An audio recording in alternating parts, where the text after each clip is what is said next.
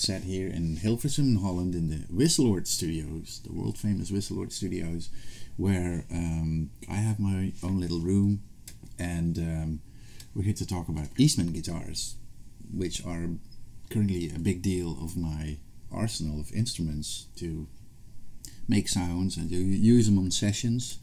Um, I have used them a lot with my band, the Common Linnets. You might have heard of them, and I have produced many, many records in, uh, in Holland, but also abroad, with um, many, many famous artists. And uh, I've been using Eastman ever since um, I bumped into my first ever Eastman instrument, which was a mandolin, and I bought it off the shelf at um, uh, Music, which is a very small, kind of acoustic based shop in the middle of Amsterdam. And I go in there and they have all kinds of instruments and they usually are very nice, they're very people that, that know what they're doing and they love their instruments so much. And they said, We have something you might like. And that was this little guy.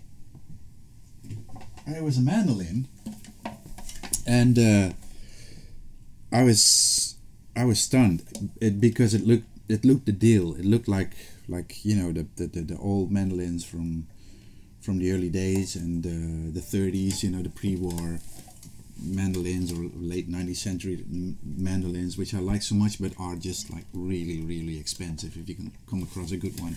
So um this one's quite affordable. Uh, so I went home and I thought, well, do I need another mandolin? I don't think so. I already got three. but uh, I just I couldn't sleep. I went back and I just had a look at it, and the, the the the craftsmanship of it is just oozing out of this instrument. It's just not. There's, I mean, there's they do marketing, of course, and people will say this is the best and blah blah blah. But really, to me, this instrument felt like wow, this is like a one of kind mandolin, which they all are because all the Eastmans are hand built. I have been told. So uh, I bought this little mandolin, and this uh, it's a stunner. Um, the strings that are on it right now are not the usual strings they put on a mandolin. These are the Thomastik, more classical sounding, so they're they're a little a little less sustainy, a little less bright, but a little more warm. So, but I like I like the sound of that. So I put them on, and it was just a, a, a great marriage. And I think. Um, this mandolin has been on tour, many many Common Linnet shows. It's my it's my to go to mandolin live, and in the studio I've used it on on the Common Linnets records as well. Um, in fact, one song of uh, the second album actually starts with this mandolin, and a little riff that goes something like.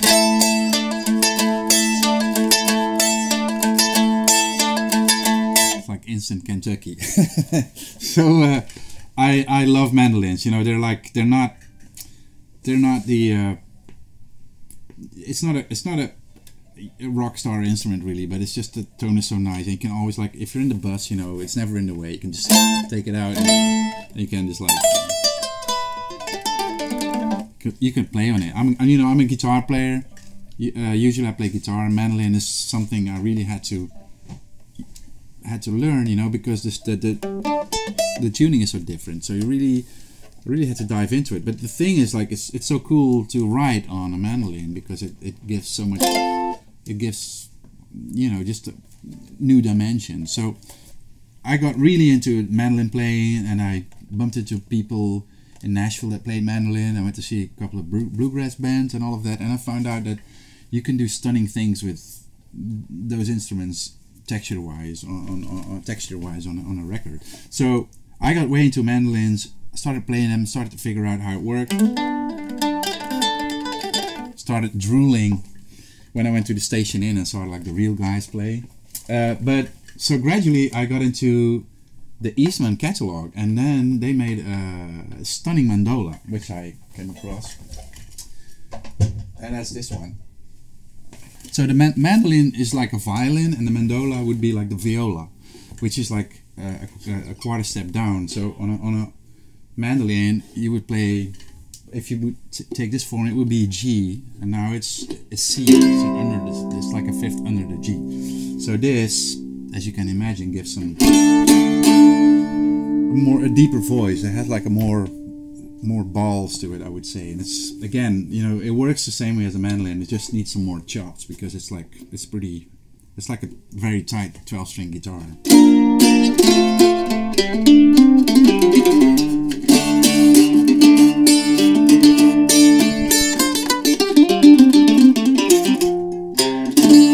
That's um, that's the thing I use. I I never use it live because I haven't found a way to amplify these guys, and um, we've been taking so many guitars on the roads that uh, you know we want to give our crew a little break. But yeah, I use it on, on records because it's really again, you know, it's uh, for textures and all of that. If you want to, you know, if you're stacking guitars, the sound can get a little boring, you know, because you're like stacking just guitars that all have like basically the same tuning. This is this is your answer to something different. So, uh, but my favorite baby, currently my two go-to instrument right now is the uh, Mondocello. There you go, and that's this dude here, and this is something amazing. You, I, I think the closest to what this is is like maybe an A-string bass. You know, it doesn't even have anything to do with a mandolin anymore, except for the tuning and uh, the pairs of strings. But it's not. You know, a mandolin is like almost like a violin. Your your your, your finger positions are really small, but on this one, you really have to,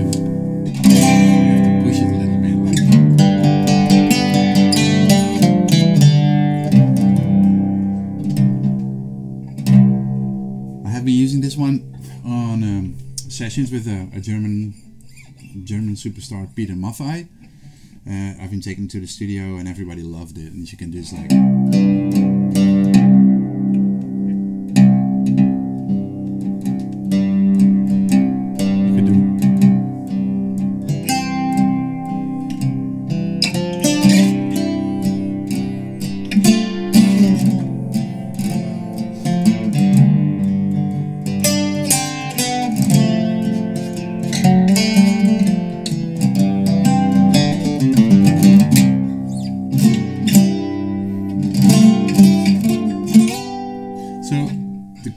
This is that if you if you can hear, this is something that's virtually impossible on a guitar.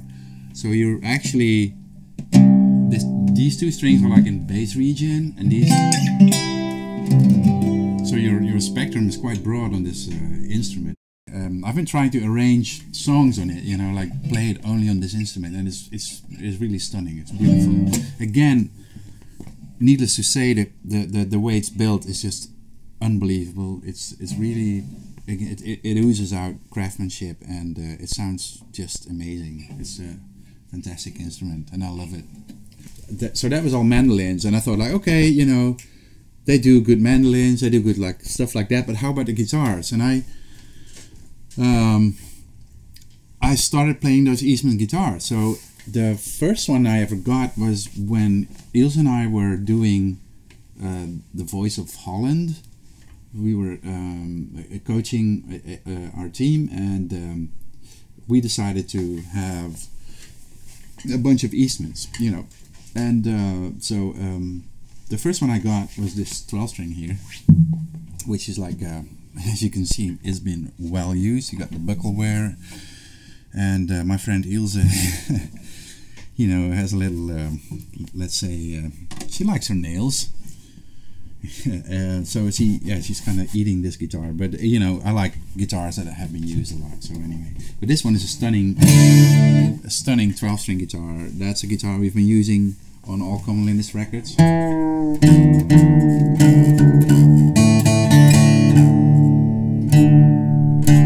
play it like Lovers and Liars. The song in the first record is done on this one, and it goes like.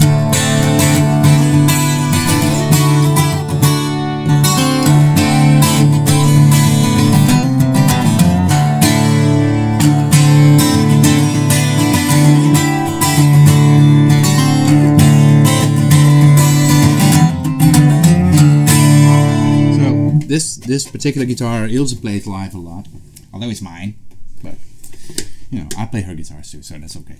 Um, so this guitar, yeah, is like the best 12 string I've ever owned, and um, uh, it, it's just a special one because it's all mahogany and it's solid spruce on top and it's fucking loud. Did I say fucking? Oh, I'm sorry. It's really loud. then um, I got this guitar, which is just a stock OM20, and I've always wanted to have an OM, and um, so I got this guitar, and I just love it. I love the hell out of it. It's like a very all-round guitar. Uh, I love the body. I love the way it looks. I love everything about it. It's you've got a great pickup in it. Uh, but um, so this guitar, so Ilse and I have quite a collection of guitars that we use in the studio, and we have been playing all kinds of guitars in the studio that that when we were recording stuff for whoever. Um, one one one time I recall we were recording with a, um, a Csaba Petocz, and Csaba is a very well-known LA studio engineer. He's worked with Toto and. Uh, it's I don't know. He's worked with everybody. He's like a great, great, well-known engineer. And um, so one day we were tracking a guitar, and I, he just couldn't get the tone right. And he was just trying mics, trying compressors, and I was playing a very old guitar, very nice guitar. And um, he said, "Man, I just can't get it right. Whatever I try to do." And then I swapped to this one, and that was it. He's like, "Yeah, that's it." I took everything off again, you know, and uh, just mic in front of it, little compression, and he said this was the best sounding guitar he had. So we've been using that on a lot of sessions with Csaba. Unfortunately, Csaba passed away recently. We all still miss him. He was a great engineer, and uh, he knew what he was talking about, you know. And uh, uh, you know that that's th- that story always comes to mind when I, whenever I pick up this guitar. Go like, okay, you know uh, so uh, this guitar I just use to ride I take it all over the place and uh, I record with it and it's always there it's my this is my buddy my guitar acoustic guitar buddy.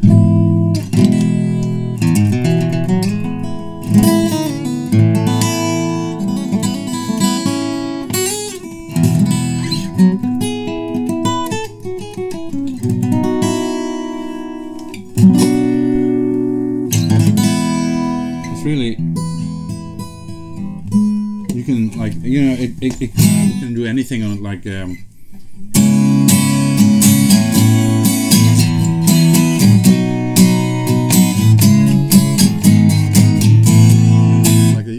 you want to have a, a good strum but it, it's also great for picking because if you do like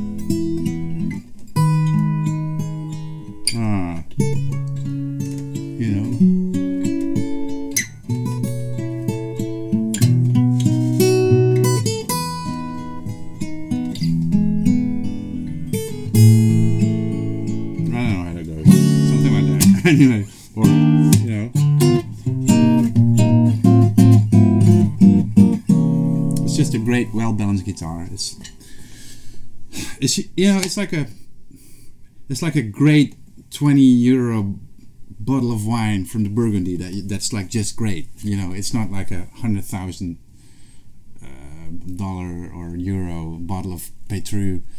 You know, it's just a great guitar and i you know it's just it's a friend you know and they all that's a great thing about eastman they all have their own character no, no guitar is the same so i've been told that's that has to do because they're all hand built and they all uh, work according to pre-war specs and uh, well that, that that gives it a lot of charm with it you know. It's no it's no factory work. It's not like they're they come out you know thousands a day or something. So uh, great guitar again.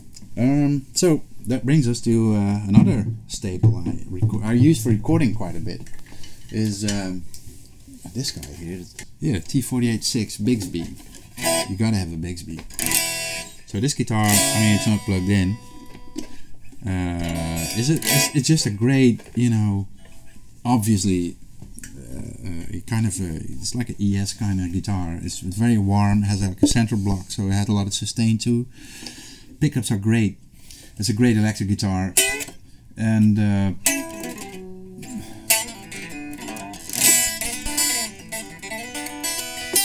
um, it's just an all-round monster, really. You know, it, it has nice. I like the the, the, the the pickups very much that are, that are on it. You can go anywhere with it. You know, if you have like a clean, nice clean amp, it will have like beautiful harmonics. And if you distort the hell out of it, you can still, you know, you can uh, you can do some corn on it.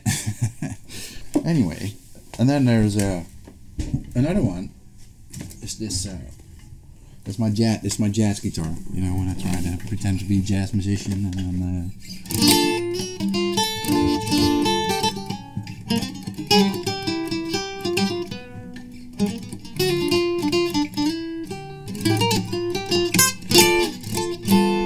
I mean, it even sounds great acoustically. So um, again, it's you know, it's an arch top body that also the Mondocello has, and uh, uh, most of the guitars are really good at arch stopping.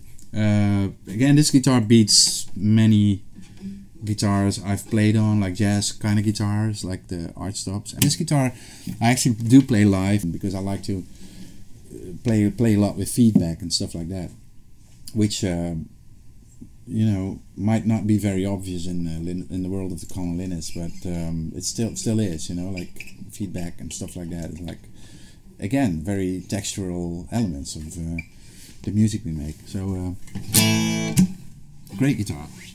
So that brings us to um, uh, the future. Uh, we have been talking with Eastman, and um, because we, we, we, we, we love Eastman so much. Um, is that um, we, we, we are trying to to um, realize a line of, of Linnets guitars um, since we're all big fans of, of, of those guitars. And uh, so we're in, in, in progress. And um, the most irritating thing about that is that um, they've now come up with a bunch of guitars that are kind of like prototypes. And guess what? They sound even better than all the guitars I already have. This beautiful guitar is the Eastman E10 SS slash V, which means varnish. And as you can see, this has all this beautiful details. Looks like a 30s or 20s guitar. It has uh, sloped shoulders, a droopy shoulders. That kind of, you know, makes me think of a J45. But I don't think they ever made black black J45s. But anyway, uh, it has a Adirondack top, solid. The back and Sides are mahogany. Uh, it sounds amazing. It's a very, very well balanced guitar. This will be uh, the Bird 3 in our custom series of the Common Linnets. So it's either Matthew or Jake. I'm going to play this because Ilse gets the Bird 1. She already has a prototype. I get the Bird 2, which will be that one in this black color, and this is like the Bird 3 and the Bird 4 coming up. ES10. This is a great guitar. I think comes at 40, 49.9, which is like, you know, staying at home is more expensive, really. um, so this guy here is the T58V varnish again, again with the lacquer. This is a solid uh, hand carved spruce top and uh, it's a stunning looking guitar. Uh, this will be the Bird 2, which will be my electric guitar signature except will be black. And uh, I can't wait to get it. Meanwhile, I'm keeping this. Uh, great guitar.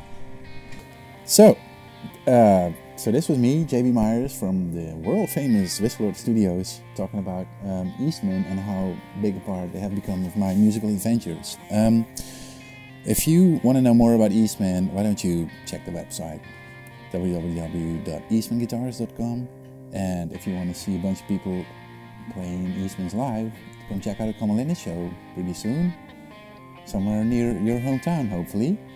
Um, so that was it for today. Thanks for watching, and um, I hope to see you live sometime. Bye.